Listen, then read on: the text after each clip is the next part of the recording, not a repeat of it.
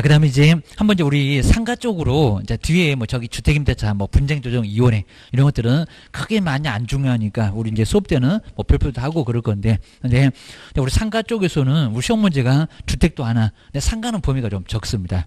그러니까 이제 상가도 나올 거니까 바로 상가도 그리고 이제 대학력도 거기도 이제 있고 그 다음에 주택하고 약간 비슷합니다. 그래서 이제 거기도 한번 이제 정리를 해 보시면서 이제 주택하고는 또 어떤 차이가 나오나 라고 상가를 한번 잘 한번 보면 좋을 것 같습니다. 나 먼저 자 뒤쪽에 이제 상가 쪽으로 한번 보시니까 이제 상가는 자 바로 이제 우리 교재 페이지 수가 477.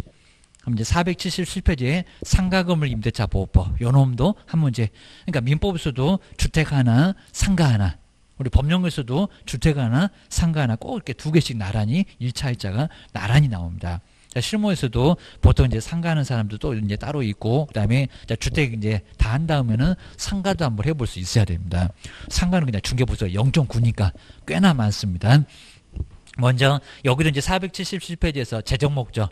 아까는 주거 생활의 안정이었습니다. 근데 여기는 경제 생활의 안정. 첫 번째 줄을 쭉 넘어가면은 네 글자 보이네요. 경제 생활의 안정. 상가니까 영업하니까 경제 생활 그럽니다. 아까 집은 주거 생활. 주거 생활의 안정이고 여기는 경제 생활의 안정이다. 자, 그입니다. 그러니까 주택만 있으니까요. 우리 상가는 사람 아니냐고 하니까 2002년도 우리 월드컵 4강까지 갔었던 시기에 법을 만들었습니다. 그러셔야 됩니다. 84년하고 2002년은 상당한 차이다. 그러셔야 됩니다. 요놈이 좀 따끈따끈하다. 그입니다. 15년 조금 넘어갔어. 이런 소리입니다. 그다음 이제 가로 1번에 보실까요? 그러니까 여기도 이제 근데 여긴 조심할 게 상가는 자연인 법인이 모두 적용됩니다. 왜냐하면 여긴 전입신고 아니역입니다. 사업자 등록 신청 오히려 자연스럽게 법인도 보호가 됩니다. 사업자 등록 신청이다. 게입니다. 그래서 이제 상가금물 임대차 보호법 그 다음에 또 가로 2번 아까 주택하고도 똑같죠. 잠시만 쓰는 사용 일시적인 사용 대차 이런 것들은 일시 사용은 적용된다 안 된다 안 된다. 그리고 사용대차는 보증금이 없이 그냥 무상으로 쓰는 겁니다. 저기 위법에서 임대차, 소비대차, 사용대차 이런 거 배울 거예요. 기억을 주셔야 됩니다.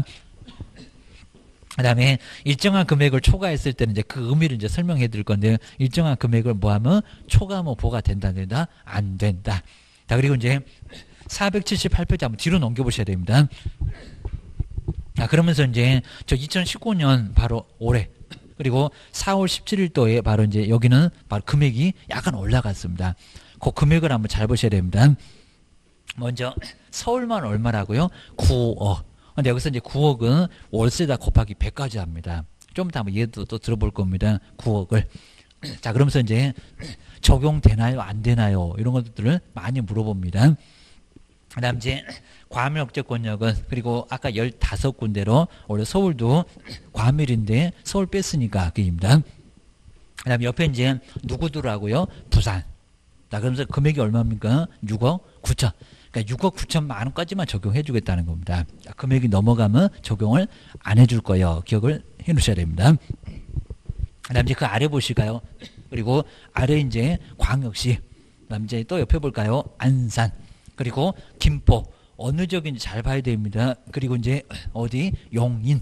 그러니까 이제 용인은 얼마냐? 경기도 광주는 얼마냐? 라고 이렇게 잘 물어보니까 위치를 한번 잘 보셔야 됩니다. 그다음 이제 가로를 보실까요? 자, 우리 세종시하고 화성이나 파주도 들어간다 그입니다. 그러니까 옛날에 안 들어갔는데 지금은 들어간다. 저기 이제 2018년도부터는 세종시 등이 들어갔다 그입니다. 그 전에는 기타 지역이었을 건데 그입니다. 아 금액이 얼마라고요? 5억 4천. 우리가 이제 구구단에서 6954 이러죠. 그러니까 저기 위에는 9억이고, 자, 이게 옛날에는 약간 무슨 법칙이라고 있었는데 요즘은 무슨 법칙이 거의 없을 정도니까 6954. 그러니까 6억 9천하고 그 아래 5억 4천. 이런 것들은 두 개를 나란히 한번 연결을 해보시면 좋을 것 같습니다.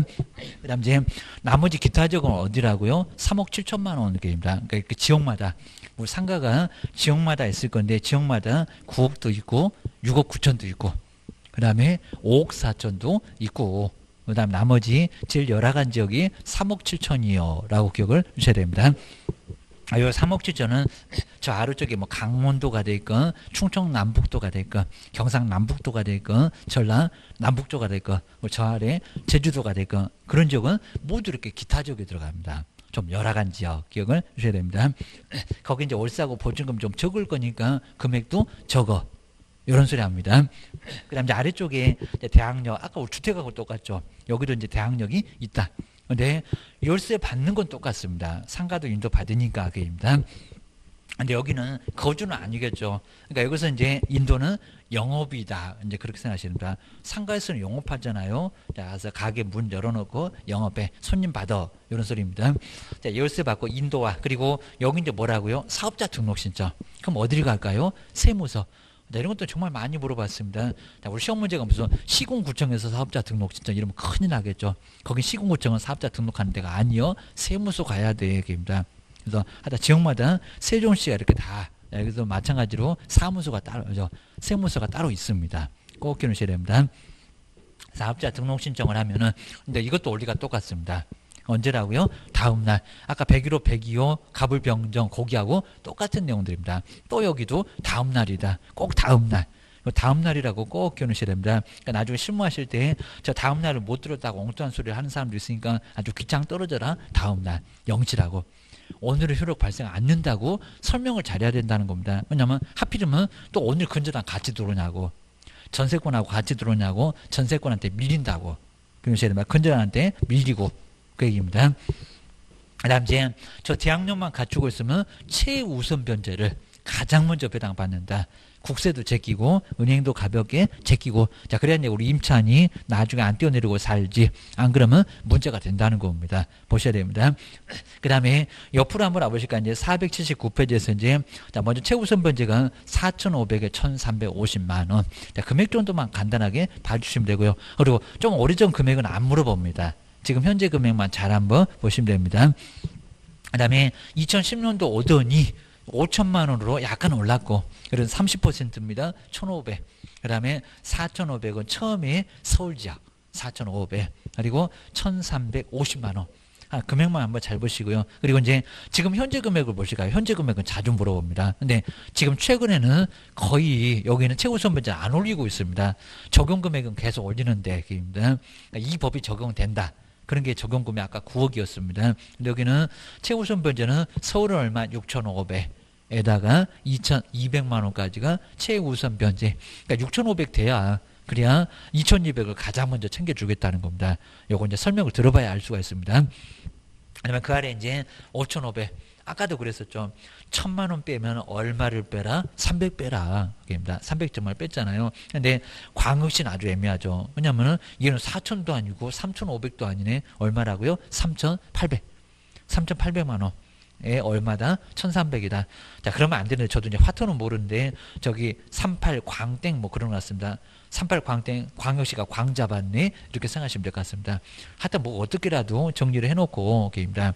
그럼 실무하다가 뭐 광역시 광 잡았네 이런 식으로 생각하시면 알 수가 있을 겁니다. 정말 3,800개입니다.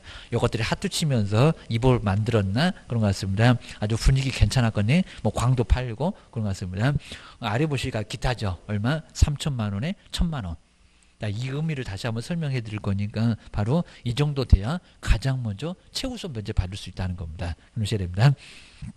그다음 이제 뒤로 넘겨보실까요? 그러니까 여기도 이제 원리가 똑같죠. 그리고 좀 가는 곳이 좀 달라서 그렇지 여기도 확정일자가 있으면 그리고 이제 세무서 가야 될 건데 우선 변제를 받을 수가 있다는 겁니다. 여기는 날짜를 확정하니까 도장 꽝 그러니까 선순위한테는 꼼짝 못하고 기다려야 되고 줄을 서십시오. 이러니까 그리고 후순위에게만 우선할 수 있다는 겁니다. 그리고 이제 481페이지가 이제 아까 우리 주택하고 좀 비슷한데 또 여기도 최단 기간이고 묵시적 갱신이고 올릴 수 있고 이런 규정이 있습니다.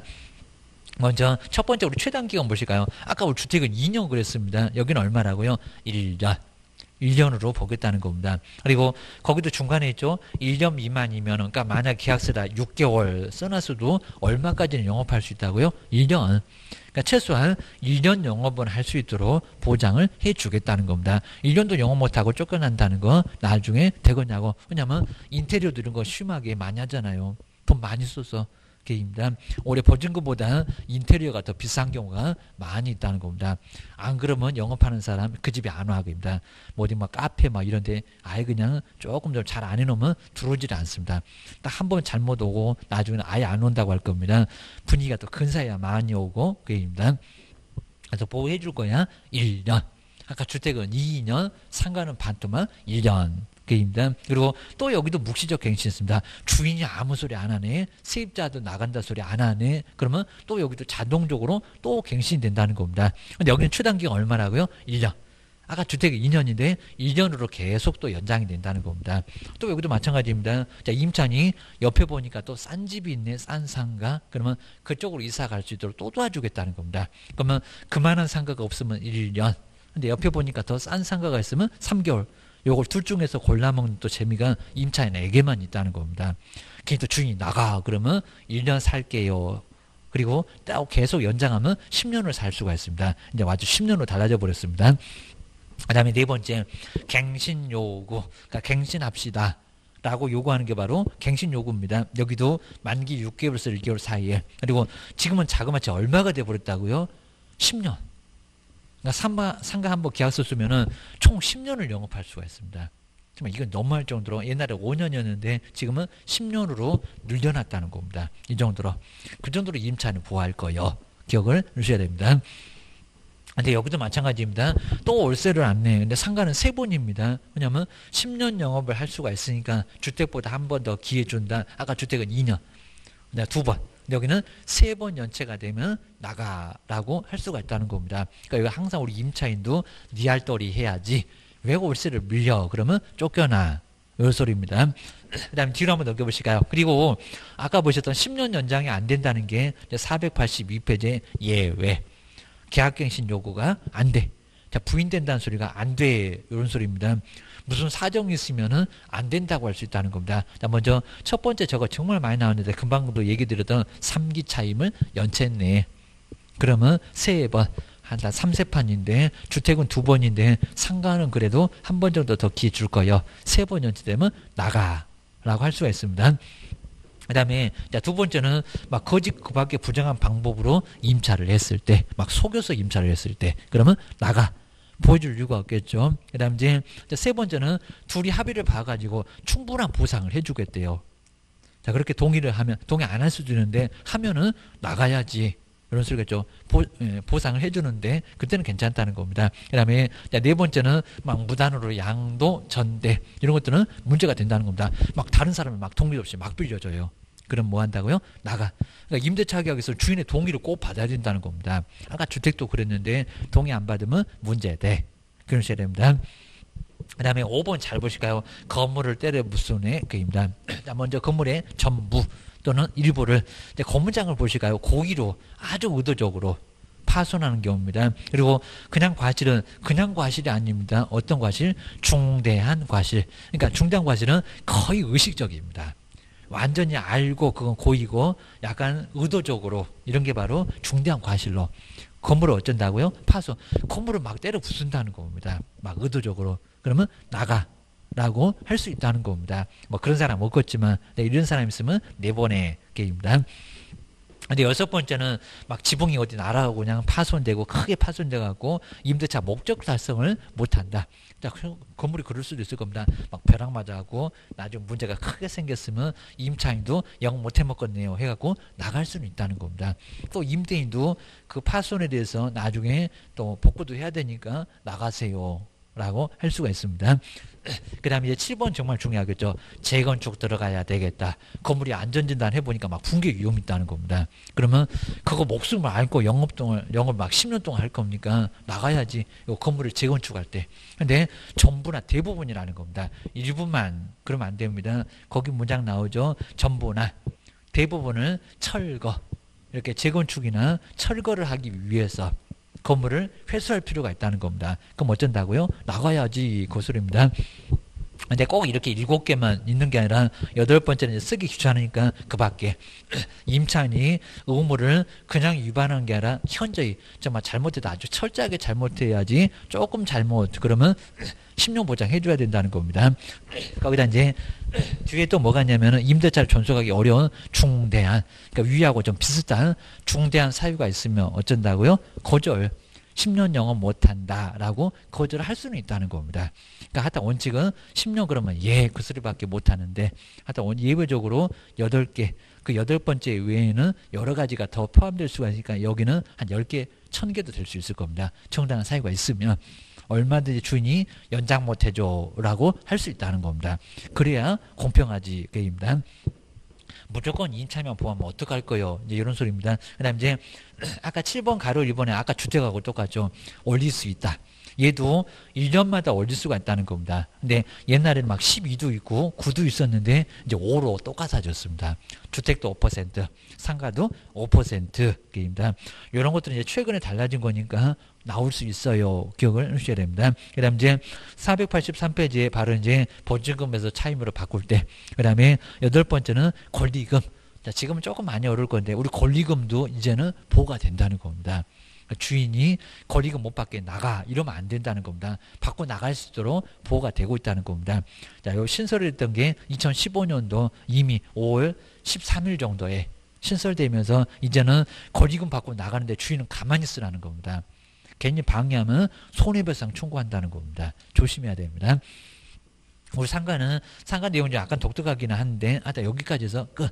자 그럼 이제 여기도 설명만 한번 잘 들어볼까요? 정말 주택이나 우리 상가 쪽에서는 이런 거잘 알고 계셔야 되고요. 그리고 그리고 다른 과목에서도 이게 상당히 좀 시간이 좀 촉박하니까 이렇게 천천히 하기가 상당히 좀 어렵다 어려우니까 여기도 잘 안 되고 저기도 안 되면 1차, 2차 다 나중에 망가지니까 이제 두 번째 이제 여기 이제 상가 건물이네요. 아까 이제 첫 번째 주택에서 그 상가 건물, 상가 건물도 상가 건물도 보호를 해야지 주택만 있으면 어떡합니까? 라고 하니까 84년도에 주택 있었다가 2002년도 월드컵 4강까지 가서던 11월 1일부터는 상가 건물 임대차 보호법이 또 제정이 됐다는 겁니다. 자, 상가가 주택 이제 여기도 이제 공장도 들어갈 수 있는데 하나 두 개를 강하게 보호를 하겠다. 여기도 임차인만 강하게 보호할 거예요. 편면적인 강행 규정이요. 임차인 불량케 해서 쓰면 안 된다. 요소랍니다. 여기도 임차인만 철저하게 보호를 해주겠다. 최종 목적만 좀 다르지 임차인 밖에 생각이 없어. 법은 요거 이제 정리를 해놓으셔야 됩니다. 그럼 이제 첫 번째 여기도 이제 대항력이 있다는 겁니다. 대항력. 여기도 대항력이 있는데 아까하고 좀 다르죠. 그리고 하여튼 원리는 이제 똑같으니까 대항력. 항상 대항력은 등기 안 해주니까 두 가지만 갖춰라. 입니다. 자 그러면서 첫 번째가 뭐래요? 여기도 열쇠 받고 인도. 근데 조심하시게 상가에서 주무실 거요. 그러다가 얼어 돌아가시니까 안 되고 여기는 영업이지. 그러니까 글자는 똑같은데 여기다 거주 그러면 안 된다는 겁니다. 영업. 상가는 영업. 자, 그럼 이제 여기서 조심하시게 영업을 해야 보호가 되니까 그럼 영업이 아닌 건 어떡할 거예요? 조심하셔야 됩니다. 영업이 아닌 게 우리 교회 그리고 무슨 종친회 종친회라든지 사찰도 그죠 우리 뭐 교회 건물 얻을 때 남의 건물 빌렸을 때도 거기다 월세 보증금 깔 수 있다는 겁니다. 그리고 어디 동창회 사무소라든지 정치에 어디 가다 보면 무슨 무슨 문중하면서 그런 사무소 있잖아요. 이거 보호가 될까요, 안 될까요? 안 돼요. 그다음에 이제 사찰 뭐 사찰도 자 나중에 뭐 빌려서 쓴다 이런 것들은 보호가 된다 안 된다 안 된다. 그러니까 이런 것들은 영업이 아니라고 보고 있다는 겁니다. 그냥 친목단체, 친목단체 이런 것들은 영업이 아니니까 이거는 상가금을 임대차 보호가 된다 안 된다 개인이 계약서 쓰면서 여기다가 본증금이 다 올 수 있다고 보호돼요. 그러면 경매 나가봐라 보호되는 지게입니다. 큰일 날 소리 하고 있다는 겁니다. 당신 아주 책임질라고 작정하셨습니까? 보호 안 돼요. 이건 영업이 안 돼요. 라고 기억을 하셔야 됩니다. 그리고 하필이면 이제 우리 저기 이제 뭐 어린이집 이런 것들 학원은 괜찮습니다. 근데 어린이집도 다 대부분 또 건물 또 얻어서 거기다가도 할 건데 근데 이 어린이집도 영업이 아니라고 하고 있습니다. 보고 안 돼요. 그러면 임차권 등기를 해야지 나중에 문제가 된다는 겁니다. 근데 이런 학원들은 괜찮아요. 보습 학원. 그 다음에 애들 학원. 근데 어린이집만큼은 아니다 그럽니다. 애들 갖고 장사하니 이런 것 같습니다. 그래서 여기는 적용 안 되니까 조심해라. 등기를 하게 해야 됩니다. 다 등기를 해주겠다는 사람하고 계약서 쓰고 해야지 이렇게 보가 안 되니까 꼭 조심해야 된다는 겁니다. 우리 판례가 나오면서 우리도 보통은 여기도 보고 될것 같은데요 했는데 이런 것들 보가 안 되니까 조심해야 됩니다. 그다음에 자, 두 번째 우리 상가는 전입신고 아니요 사업자 사업자 사업자 등록 신청인데 요 사업자 등록 신청인데 정말 어디 가서 사업자 등록 신청하냐고 자 사업자 등록인데 어디라고요? 세무서 세무서입니다. 자, 세무서에서 이걸 시공구청 이렇게 소개하고 시험 문제 내봤다면 주민센터는 더 아니고 세무서 가서 그리고 사업자 등록 신청하니까 하여튼 열쇠하고 사업자 등록 신청 그리고 여기도 언제라고요? 또 다음 날 오늘 사업자 등록 신청해도 오늘 가게 문 열어도 안 돼. 또 얼마라고? 0시부터 그러면 아까 101호의 값 그리고 102호의 거기가 똑같은 내용들입니다. 그러니까 요거는 그 정도로 이제 알 수가 있을 것 같습니다. 그리고 이제 아까 보셨던 게 금액이 요거 이제 적용 범위 요거 꼭 보셔야 되면 적용되는 범위 아까 보셨던 최단 기간 적용돼야 돼 묵시적 갱신 적용돼야 돼 10년까지 영업해 준다는 적용 범위 금액 요걸 잘 보셔야 됩니다. 그래서 이제 적용되는 금액이 있는데 지역을 네 개로 딱 정해놓고 나서 그리고 네, 요 금액 안에서만 적용된다. 그 소리 합니다. 나 먼저 첫 번째 서울은 얼마래요? 서울 9억. 9억입니다. 좀 이따 이제 금액 갖고 한번 얘기를 해볼 거고요. 그 다음에 두 번째가 과밀 억제권역 인구가 많은 지역. 인천부터 자 서울도 원래 들어갔는데 서울은 빼버렸으니까요. 자 인천, 수원, 부, 예, 부천, 성남 뭐 이런 지역이 바로 이제 여기는 과밀 억제권역에 들어가요. 게입니다. 그다음 이제 옛날에는 없었는데 갑자기 이렇게 부산이 부산이 제2의 서울이라고 하더니 부산은 세 번째 광역시에 있는 게 아니라 그 예전에 그렇게 있었다가 지금은 부산이 두 번째로 올랐다는 겁니다. 그래서 이제 얼마다 자 이게 금액이 옛날에 뭐 한뭐 뭐 1억씩 빼고 막 했었는데 지금은 너무 달라져 갖고 6억 9천 6억 9천 이게 막 아, 금액이 헷갈릴 수가 있을 겁니다. 벌써 5억 4천 나오면 안 되고 6억 54 그러자고 있습니다. 6억 9천만 원 적용돼. 그래서 여기는 적용되는 예, 금액이 6억 9천이다. 그입니다. 지역마다 다르다. 그입니다. 아, 세 번째, 여기서 이제 우리 광역시라고 하면은 그러면 우리 과밀에 인천이 들어갔으니까 네 개겠네요. 대전. 그다음에 자, 경기도 쪽에 이제 여기 이제 저기 전라도 쪽에 광주 한번 여기다 이제 금액 한번 여기 써볼까요? 대전. 입니다. 대전. 인천, 부산 빼라. 인천, 여기 인천 들어갔고 여기는 부산 들어갔으니까 그 다음에 전라도 쪽에 광주입니다. 그 다음에 울산 그리고 사가 많이 난다는 대구입니다. 이렇게 딱 네 개죠. 그래서 이제 여기는 부산이 원래 여기 있었다가 부산은 위로 올라갔어. 됩니다. 우리 이제 경기도를 잘 보셔야 됩니다. 경기도에 먼저 세월 때문에 난리가 났었던 안산 그리고 김포입니다. 뭐 전원일 찍었던 김포 그다음에 에버랜드 많이 놀러 가시죠. 용인 그다음에 경기도 여기 이제 어디라고요? 광주. 근데 조심하실 게 여기는 저기 전라도 쪽에 광주광역시 여기는 경기도 쪽에 광주 같은 광주가 여기 있다. 입니다. 아마 요 정도만 보셔야 될 것 같습니다. 그래서 이제 여기 6구 얼마? 54, 5억. 그리고 얼마? 4천. 뭐 하다 여기는 파주도 같이 들어가 있고. 그 다음에 나머지 4개. 그러면 세계적이 아닌 기타 지역은 기타 지역은 제일 열악역입니다. 기타 지역입니다. 옛날에는 2억 7천 그랬었다가 자 1억만 딱 올라가네. 3억 9천, 3억 7천입니다. 3억 7천. 이라고 해서 3억 7천만 원까지가 적용. 자 그러면 한번 보실 게 이제 아까 이제 보셨던 우리 적용 보면 한번 적용이 되느냐 안 되느냐 한번 예. 요거 한번 잘 보실까요? 시험 문제는 요게 우리 시험 문제 가끔씩 나온다는 겁니다. 그러면 이제 제가 이제 서울만 갖고 한번 서울만 갖고 한번 예를 들어 볼게요. 자, 1번. 자, 먼저 갑은 영업을 하고 있는데 적용될까요? 안 될까요? 그러니까 최단기간 1년 보장되고 아, 영업하고 싶으면 10년 영업해라. 권리금 보호도 되고 그런 규정이 적용되겠냐고. 게임입니다.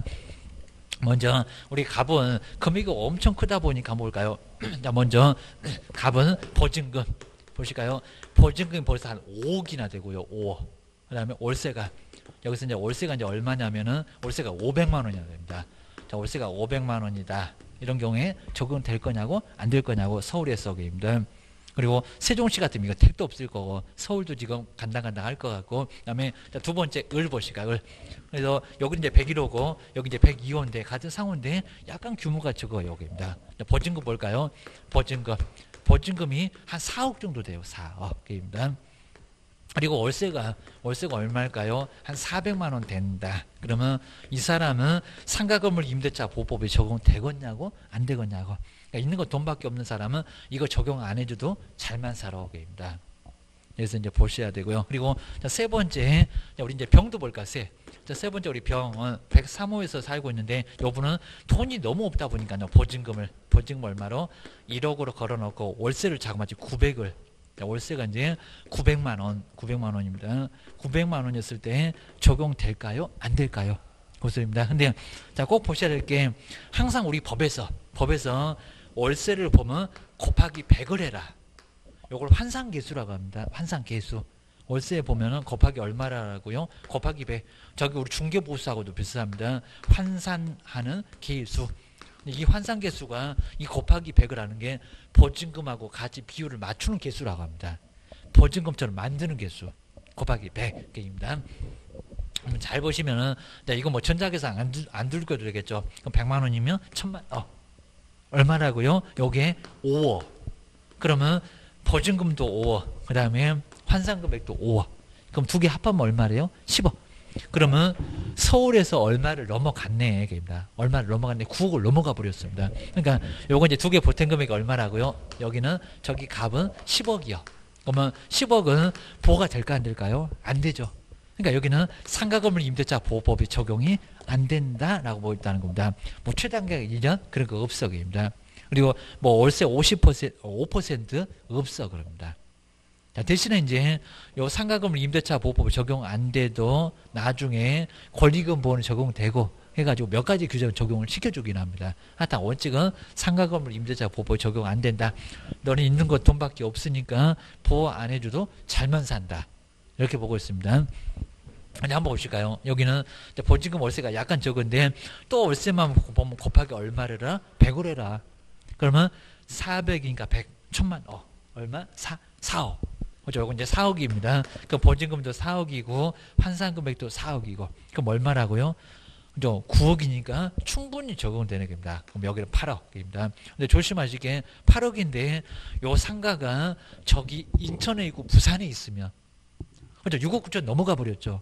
8억이니까 그러면 요 같은 금액이 서울에 있으면 적용되는데 요 상가가 저기 부산에 있다, 인천에 있다, 수원, 안양, 부천, 성남에 있다 적용 안 된다 이런 소리입니다. 이런 것도 많이 물어봤다는 겁니다. 실무가 엉뚱한 소리 하면 안 돼. 지역을 알아야지. 내걸 나눠 놓으니까 그 얘기입니다. 그 다음에 근데 여기를 보실까요? 나도 돈이 있으면 5억 4억을 걸었을 건데 돈이 없으니까 요걸 좀 적게 걸고 놨더니 월세만 커졌네. 그 얘기입니다. 그러니까 여기서 제일 불쌍한 사람이 누군데 누구는 보호가 되고 누구는 보호가 안 되고 그러니까 얘는 있는 거 돈밖에 없으니까 이해라도 하겠다 그럽니다. 그럼 여기다 이제 곱하기 100을 한번 해볼까? 곱하기 100입니다. 곱하기 100. 그러면 100만 원, 1000만 어, 9억. 벌써 9억이 돼 버렸습니다. 9억. 저기 서울이 9억인데 그러면 보증금도 보태라. 보증금 보태니까 얼마가 돼요? 얘도 10억이네. 그입니다. 얘도 똑같은 10억이네. 그러니까 같은 10억이라고 하더라도 얘는 그냥 이해라도 하는데 얘는 월세가 좀 많다 보니까 금액이 커졌네. 자 그러면 얘도 얘가 제일 불쌍한 사람인데 얘도 보호는 안 된다는 겁니다. 상가금을 임대차가 보호가 된다 안 된다 안 된다고 입니다. 금액이 커서. 그러니까 이분이 정말 황당할 겁니다. 그러니까 이렇게 법에 약간 좀 맹점이 있습니다. 그래서 여기는 이라도 하겠다 있는 건 돈밖에 없어갖고 얘가 있는 게 돈밖에 없나고 돈 없어갖고 월세 많이 했더니 적용한대. 이런 일이 생긴다는 겁니다. 보셔야 됩니다. 그 다음 이제 아까 보셨던 최우선 변제 금액은 이제 저기하고 이제 비슷한데 근데 여기다가 이제 원리는 똑같은데 아까 이제 여기 이제 최우선 변제라고 한번 다시 한번 써볼까요? 요 금액은 적용 금액이고 최우선 최우선 변제인데 자 그러면 여기도 이제 보증금하고 그다음에 그 중에서 가장 먼저 아까 6,500만 원 서울은 6,500만 원 같이 써 놓으면 더 편할 것 같습니다. 그 중에서 얼마라고요? 2,200만 원. 2,200만 원 가장 먼저 챙겨 줄게. 그다음에 광역시 같으면 그러니까 여기 적용 금액하고 최우 선 변제 많이 헷갈려 하십니다. 완전 달라. 그러니까 여기는 이 법이 적용될 거냐 안 될 거냐고 여기는 최우선 변제가 적용될 거냐고 금액이 정말 적었을 때 가장 먼저 챙겨주겠다는 겁니다. 근데 금액이 정말 너무 적어요. 이거 황당한 금액입니다. 여기 이제 5,500이고 아까 1,000만 원씩 빼면 얼마를 빼라? 300 빼라. 그러니까 1,900. 입니다. 그리고 이제 광역시가 광잡을 생겼네. 바로 1,900만 원. 아까 얼마라고요? 정말 3,800. 38 광대.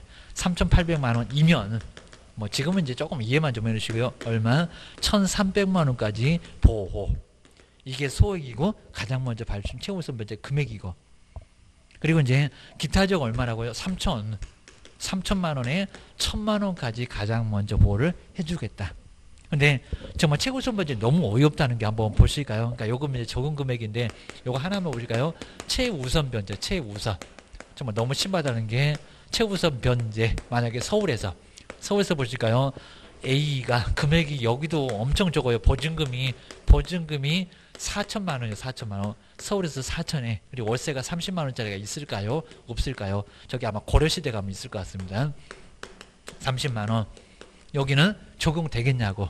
그래서 이제 A 그리고 이제 B를 볼까요? 자 B는 보증금이 정말 이건 너무 같아요. 저 지방에도 이런 거 없을 것 같아요. 3천. 그리고 월세가 여기가 이제 얼마냐? 30만 원이다. 라고 했을 때 그러니까 여기서 이제 둘 중에서 둘 다 적용은 되는데 그죠? 9억은 안 넘었잖아요. 근데 최우선 변제 받으려면은 이 둘 중에서 딱 한 분만. 자, 먼저 보실까요? 그러면 항상 월세 보험 곱하기 얼마라 100 해라. 그럼 100이니까 10만, 100만, 1000, 3000. 3천입니다. 그럼 환산 금액이 3천이고 둘을 보태세요. 그때 얼마가 됐다고요? 7천이네, 7천이네. 6,500 넘었네. 먼저 여기 넘었죠, 벌써. 그러니까 이게 최고 선 변제가 안 된다는 겁니다. 넘었네. 이게 소액이 들어와야 되는데 이게 소액이 아니라는 겁니다. 넌 아주 뭐 대기인가? 이럽니다. 7천. 7천이니까 최고선 변제 받을 1 아까 보셔도 2,200이 없다는 겁니다. 안 돼. 기다려봐. 기다리더니 은행이 먼저 다 받아가네. 그럼 어쩔 수 없지 이럽니다. 곱하기 얼마라고요? 곱하기 100, 10만 원대니까 100만 천, 3천.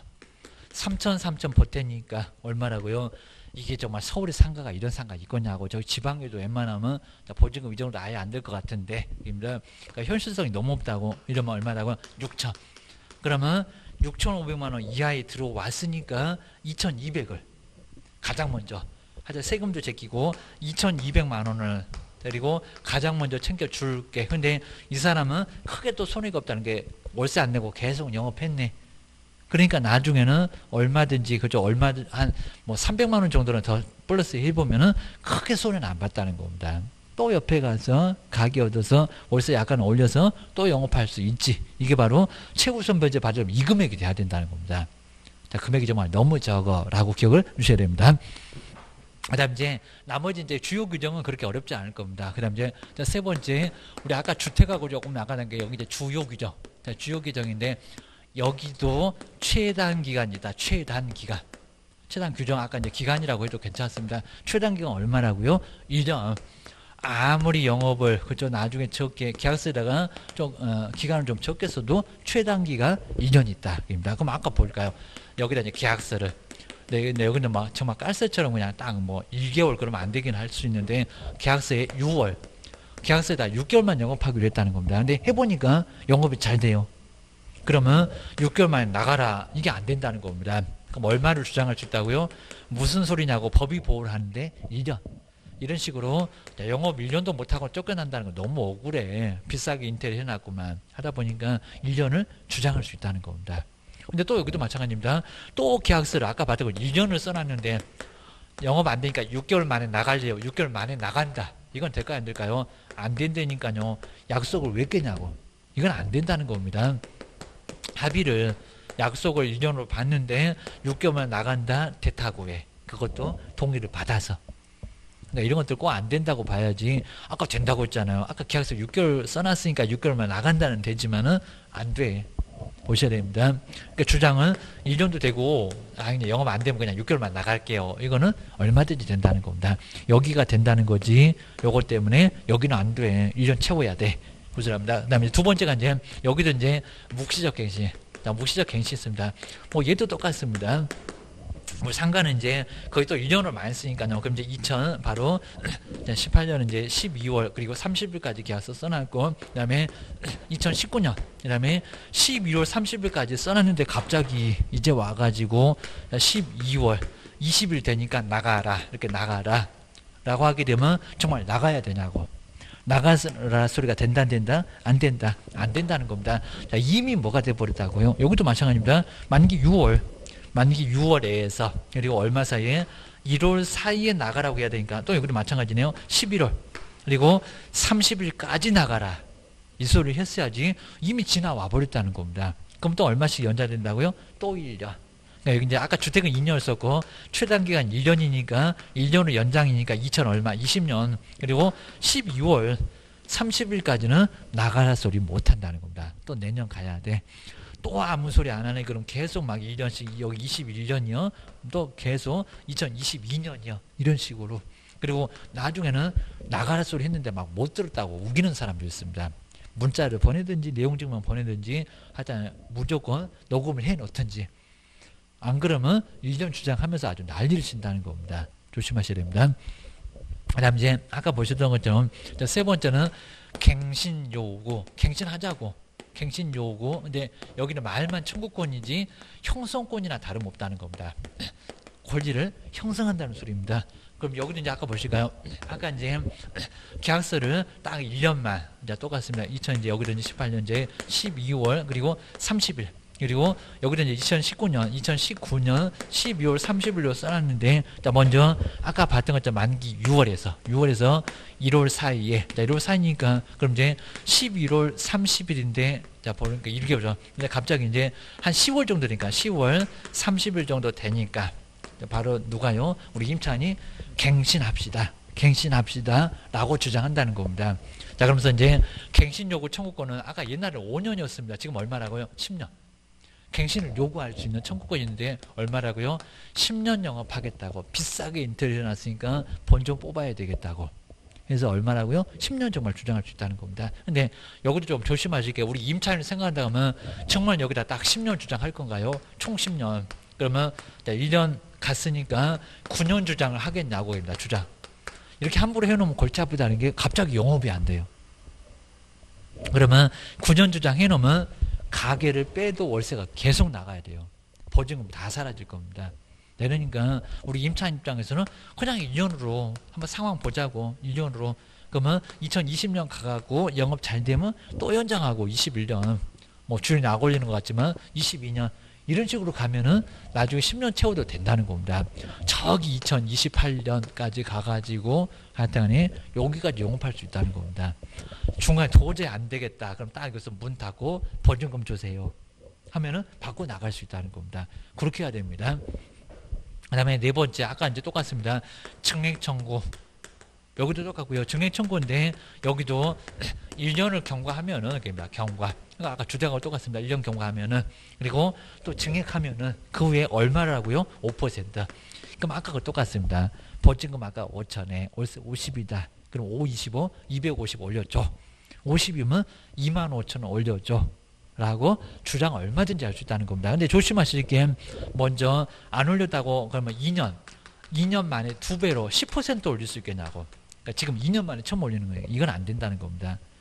권리에 주무신 거니까 2년 만에 증액을 해도 5%야. 그입니다. 걔또 사무소에서 아마 두 배 될 걸요 이러면 큰일 난다는 겁니다. 네가 물어줄 거니 이럴 겁니다. 그래도 5% 여기입니다. 그러니까 누가 참으래 권리 주장할 걸 넘겼으니까 2년 만에 증액 청구 해도 5%다. 라고 설명 잘해야 됩니다. 그다음 이제 5번에 권리금을 보실까요? 이제 권리금. 아까 이제 권리금. 정말 옛날에는 권리금 막 못 받게 하고 막 나가라고 했습니다. 근데 지금은 권리금 보장 철저하게 된다는 겁니다. 자, 그리고 이제 최소한은 1년 6개월 이상은 이렇게 1년 6개월입니다. 1년 6개월 이상은 영업을 했을 때 보장되는 거지. 딱 1년 1년 영업하더니 저 권리금 받고 나갈래요. 그러면 그냥 나가. 라고 할 수 있다는 겁니다. 그리고 예전하고 이제 조금 좀 많이 달라져 가지고 이렇게 쭉 가다가 이제 먼저 옛날에는 3개월 전에 통보하고 나가라고 했습니다. 근데 지금 6월. 왜냐면 3개월 만에 권리금 받고 나가기 어려워요. 장사 안 하려고 하고 있잖아요. 그럼 결론적으로 임차인 권리금 못 받고 그냥 나갈 건데 그럼 누구 줘라고 임대 줘라고 자 이러니까 자 지금은 6개월 전에 그러니까 6개월 전에 그리고 권리금 받고 나가겠다 권리금 받고 나가겠다는 권리금 주장을 해주면 6개월 안에서 좀 편안하게 새로운 임차인 구해서 나가면 된다는 겁니다. 보셔야 됩니다. 근데 만약에 권리금 받는 것을 임대인이 방해를 했다는 겁니다. 임대인이 뭐라면요 방해를 하면은 근데 나중에 손해배상 청구할 수 있는데 이건 아마 민법에서 먼저 나왔을 겁니다. 손해배상 청구할 수 있는 손해배상 청구할 수 있는 시효가 있는데 기간이 있는데 이 청구가 3년입니다. 3년. 요걸 막 1번에 막 1년, 2번에 2년 해갖고 시험 문제 나온 적이 있었을 겁니다. 3년 안에 청구를 해야지. 그럼 만약에 3년 넘어가면 청구가 안 돼요. 그래서 3년 안에 청구를 할 시기가 있으니까 시효로 완성되면은 청구도 못 하니까 요 3년 안에 청구할 것을 얘기를 잘 하라는 겁니다. 안 그런 보호가 안 돼. 교훈시됩니다. 이렇게 해서 이제 우리 상가도 좀 어려운 부분 좀 있긴 하지만 이런 것들 잘 정리를 해 놓으시면 아주 괜찮을 것 같습니다. 딱 요 정도까지 한번 참고를 해 놓으시고 이제 우리 본 수업 때는 또 자세하게 할 거니까 오늘은 여기서 한번 마무리 해 보겠습니다. 고생 많으셨습니다. 고맙습니다.